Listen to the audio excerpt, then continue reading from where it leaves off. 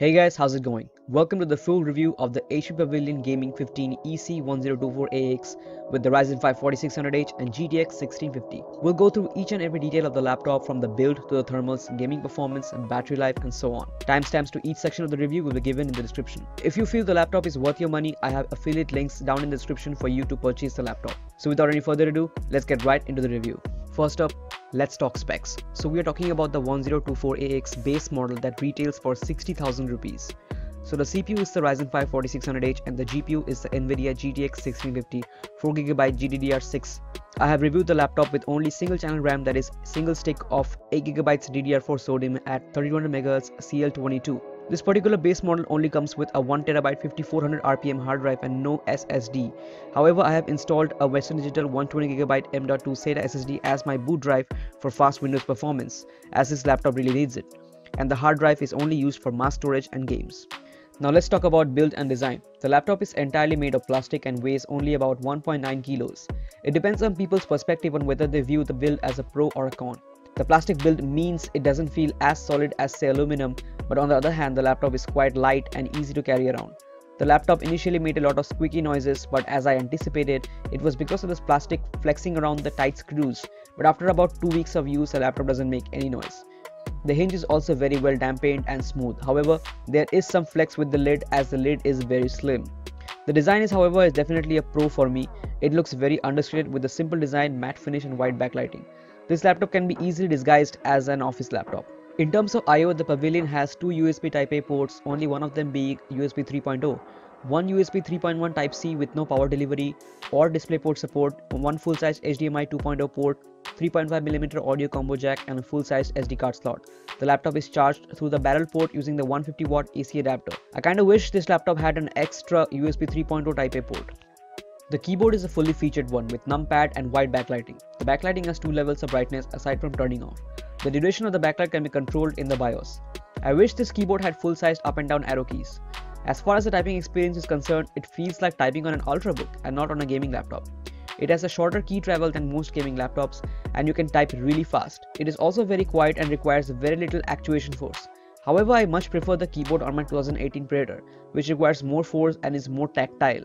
The Pavilion's keyboard is definitely not very well suited for angry and short-tempered gamers for sure. The touchpad is adequately large and is quite wide and less tall. It features Elantec drivers and not Windows Precision drivers, but the tracking is very good and gestures work well. So this is what the web camera looks like under room lights. I'd say pretty decent for Zoom calls. Now let's talk about the display and the speakers. So the Pavilion 1024AX base model comes with a standard 60Hz 1080p IPS panel with 250 nits of brightness and NTSC color gamut coverage of 45%. As I've said during my unboxing, I feel the display out of the box was a bit too warm for my taste, so I changed the color temperature from 6500 Kelvin to 7900 Kelvin through the AMD Adrenalin software. Apart from that, I feel the display quality is adequate for the price. It's bright enough indoors even under direct ring light. The viewing angles are wide enough from side to side and only a little worse from top to bottom. Esports gamers may feel 60Hz to be limiting, but it's perfectly adequate for my use case. Getting a good 144Hz display with good response times is next to impossible in this price range anyways, especially in India. As far as the front facing speakers are concerned, they are loud enough but feel bit hollow with no low end. It sounds too flat for my taste. My 2018 Predator blows this out of the water, there is no comparison. The Bang & Olufsen audio control software does improve the sound signature quite a bit. I feel these settings make the speakers sound the best. Overall, I feel the speakers on this laptop is just average and one of the rare downsides of this laptop. Now let's move on to the meat of the review, that is the thermals and the performance. Now I have done a detailed thermal testing review of the laptop. I recommend you to watch that video for detailed information. I will briefly discuss it here. So initially I was skeptical of the thermal performance of this laptop as it has both the CPU and the GPU fans together and share the same heatsink. However, coupled with the efficiency and low power requirements of the Ryzen 5 4600H and large vents all across the width of the bottom panel, the CPU stays really cool even under all-core load and has no problem maintaining 4000 MHz all-core turbo. The laptop also maintains a good balance of fan noise and thermals. The fan completely stops spinning on idle or while doing light office works, However, it does take up slightly longer to reach maximum speed when the CPU is hit with an all-core load. You can select in the BIOS whether you want to keep the fans always on or not. You can check my video on enabling manual fan controls as the built-in Omen Game Center is completely useless and provides no controls whatsoever. The brilliant CPU performance is reflected from the high Cinebench scores. I don't think there is any other laptop in this price range that can perform as well as the Pavilion. I wanna say though vents are great for proper airflow but they do suck in dust. As you can see here dust is already starting to build up so make sure to clean the fans every 2-3 months if you live in a dusty city like Delhi and all. Summer or winter doesn't matter, however, a dust clogged laptop will definitely overheat. In terms of gaming performance, the Pavilion is one of the best entry level gaming laptops and provides some of the best performances out of the GTX 1650 graphics card. I have done complete gaming review of the HP Pavilion and I highly recommend you to check it out. In short, I found the Pavilion offers some of the highest frame rates out of the GTX 1650 and temps while gaming stay very low.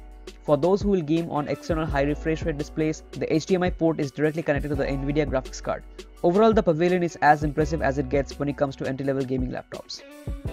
Last but not the least, let's talk battery life. The Pavilion comes with a 52 watt hour battery and the battery life is really really good. It does goes to show how efficient these Zen 2 mobile processors are. So when the laptop is not plugged in, I keep the laptop in these following settings. Battery saver mode stays on, background apps are always disabled, Wi-Fi is always on and in metered connection mode, keyboard backlight stays off when not required and display brightness is set to 40%. And just with a 52 watt hour battery, I was able to use the Pavilion from 2.15 pm to 6.15 pm, which is 4 hours, and ended the session with 58% battery remaining. I watched YouTube on Mozilla Firefox for about 2.5 hours and then wrote the script to this video. After that, I shut down the laptop and used it from 8 pm watched a bit of YouTube and edited the script a bit, then downloaded a 2 hours long movie and watched it. The laptop was on airplane mode when I was watching the movie, so I ended my whole day of use with the laptop at 11pm with 17% battery still remaining.